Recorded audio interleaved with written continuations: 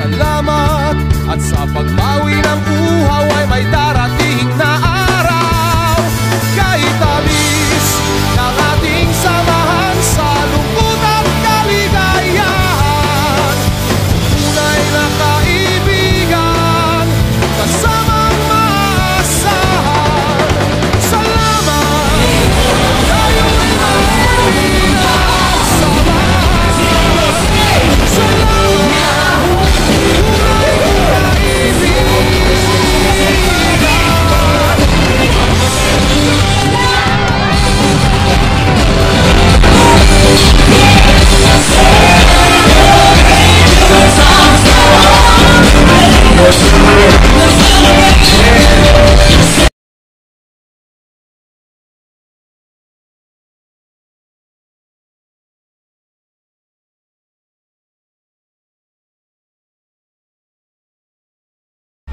Planong pagpalain kayo.